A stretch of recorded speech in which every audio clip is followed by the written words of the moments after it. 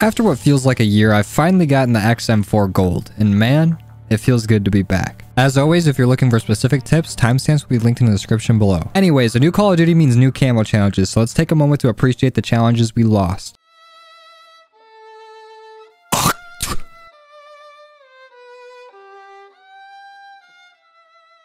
Even with the Ass Cheek mounted challenge gone, a new challenge has taken its place.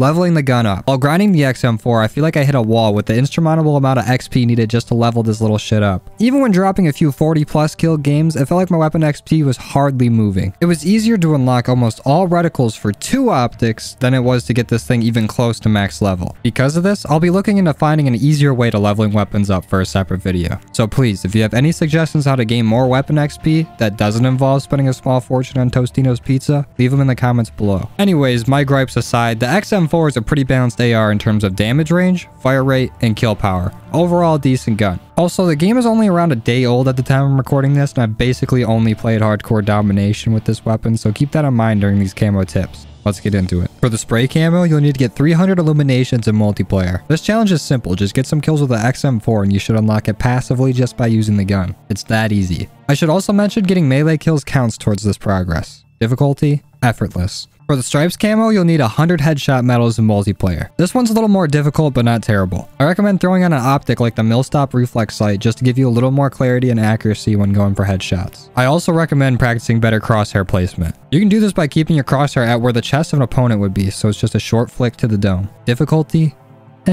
For the classic camo, you'll need to get 5 kills without dying 20 times in multiplayer. To my knowledge, this stacks on kill streaks that are a multiple of 5, like 10, 15, 20, etc. But this one's a little bit tricky to give advice for. There's no quick trick to getting better, but if you find yourself struggling with this camo, try to slow your gameplay down a bit. To do this, you can sprint less, check your corners more often, stop reloading directly after a kill, equip a stim shot, and if worse comes to worse, you can play like a little bitch and find a nice area to sit at, like near choke points on the map and lose the respect of everybody in the lobby. Difficulty?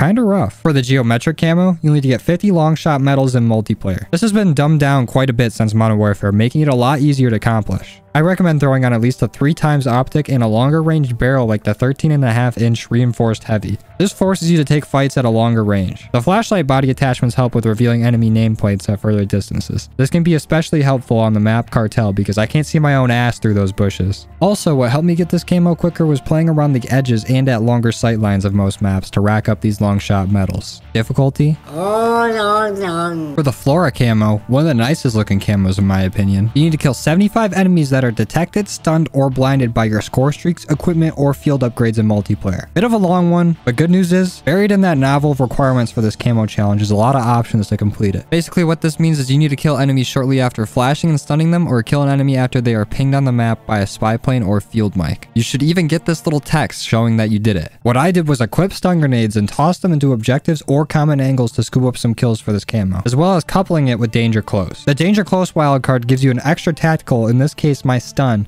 and as a bonus gives you extra starting ammo. To me, it seems like they want you to use a little more equipment when you're using the weapon, so try to use everything you got while you're working toward it. Difficulty? Weird champ. For the science camo, you need to shoot and kill 50 enemies taking cover from you in multiplayer. Another odd one, but it's not as hard as you think. In hardcore, seems to be pretty generous on what it determines to be cover. I got most of my kills from people running past walls. But the most effective way to complete this challenge by far is killing enemies that are head glitching over cover. This worked almost every time for me now that I've started grinding the AK. It just might take a little time to complete. Difficulty? Pretty damn easy. For the psychedelic camo, you need to get 25 double kills in multiplayer. This one isn't too tough. I recommend using a larger mag and trying to avoid the urge to reload after firing a few shots. I don't need it.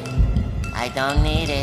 Also, after you get your first kill, always be ready for another enemy to be nearby. A lot of double kills are missed by players sprinting immediately after they get their first kill. Difficulty? Mildly annoying. That's all the tips I have for getting the XM4 Gold. If this helped you at all or you learned something new, drop a like on it. If not, dislike. And if you're part of the 84% of people that watch my videos and aren't subscribed, please consider doing so. It helps the channel a lot and you can unsubscribe at any time. I'm also going to be streaming the grind over on Twitch, so you can head on over there if you want to suggest tips, attachments, or just watch me suffer. Links to my Instagram, Twitter, and second channel will be in the description below. Go check those out for more content.